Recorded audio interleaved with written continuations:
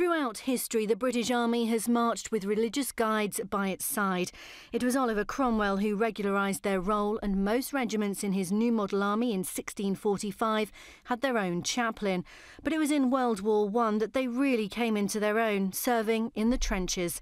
179 British Army chaplains gave their lives. Three of them received the Victoria Cross for their bravery. In 1919, King George V gave the department its royal status. They were called upon in great numbers once again in 1939, and 96 of them were killed in World War II. Padres still serve alongside troops on the battlefield. There are currently 10 ministering to personnel in Afghanistan, but their role has changed, and it is no longer just Christian soldiers who seek their guidance. Many of the people that in my 25 years in the army that I've helped as a chaplain um, either have the Christian faith or a different faith or no faith. Um, but they will still seek out the chaplain because we live in the same world as they do and normally would be wearing the same uniform as them. So it's a ministry to all, whether or not they come to church. The British Armed Forces have long since included personnel from non Christian backgrounds, and in 2005, chaplains of the key world faiths were appointed to look after the requirements of the Army, Navy, and RAF. It's estimated there are currently up to 1,800 Jewish personnel, 1,800 Hindus, more than 1,000 Buddhists, around 1,000 Muslims, and approximately 230 Sikhs serving in the British Armed Forces. There are also those who train in the UK from other nations, especially Muslim countries such as Saudi Arabia and Kuwait. Each faith is represented at the Cenotaph on Remembrance Day, and the leaders feel that's important. It is crucial, I should say. It should be appreciated. They have sacrificed their life, and uh, and uh, if if we just ignore their sacrifices, and the families will feel that yes, no, it is uh, they they are just ignored actually, and uh, how much sacrifice they have just done for for the country and for being as citizen and so on as a Buddhist, um, I feel it, you know, it is especially honored um, to uh, remember the serving personnel who have done the ultimate sacrifice for the nation. Uh, so gratitude is a very core value of, of Buddhism.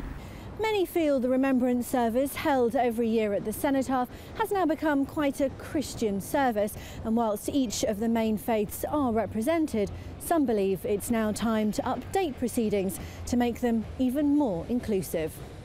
Right now, it's more uh, looked at as a Christian thing and uh, uh, even though the multi-faith or the world faiths they take part in uh, uh the activities uh, but we're just seen there as, uh, as an addition to whatever is, going on rather than as uh, being an intrinsic part of everyone who is taking place.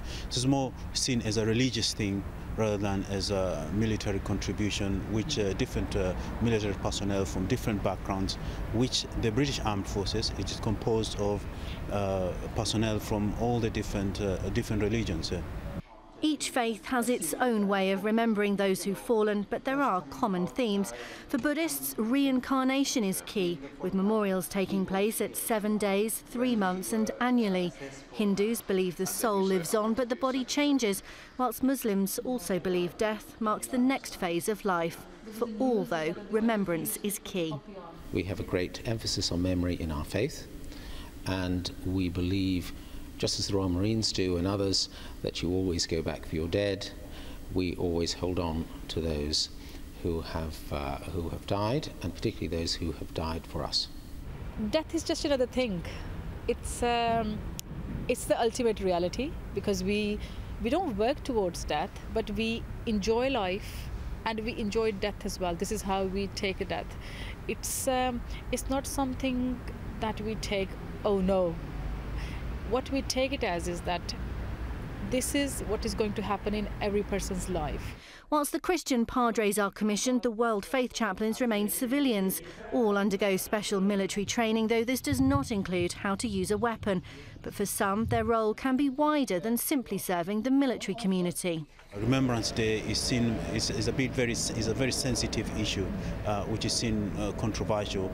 On one side, people saying that well, it's actually acknowledging uh, the, um, the, the, the the wars that have been taking place, which some of the Muslim community see it as unjust, uh, even though we know that's not the case.